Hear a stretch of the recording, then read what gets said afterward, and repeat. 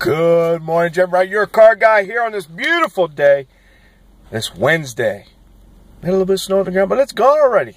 It's going to be a great day. All right, let's get into the daily Carmo.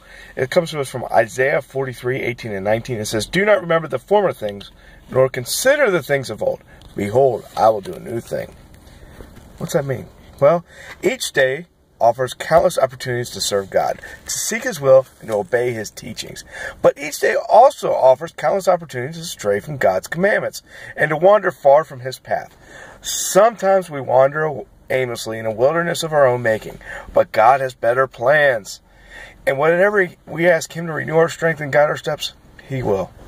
Consider this day a new beginning. Ha ha, new beginning! Consider a fresh start, a renewed opportunity to serve your Creator with willing hands and a loving heart. Ask God to renew your sense of purpose as He guides your steps. Today is a glorious opportunity to serve your Father in heaven. Seize that opportunity while you can. Tomorrow may indeed be too late.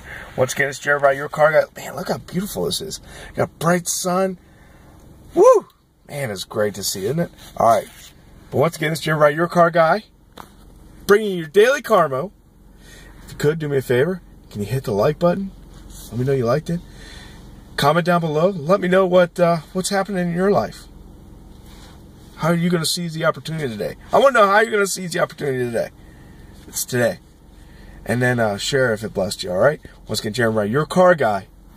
Have a great day.